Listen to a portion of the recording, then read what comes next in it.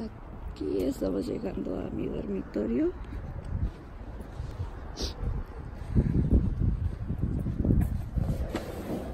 Tengo la puerta.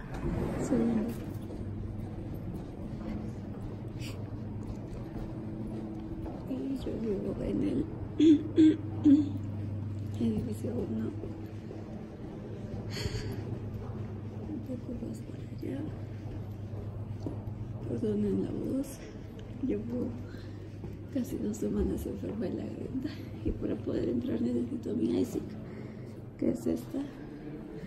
La pongo aquí, la prueba y ya.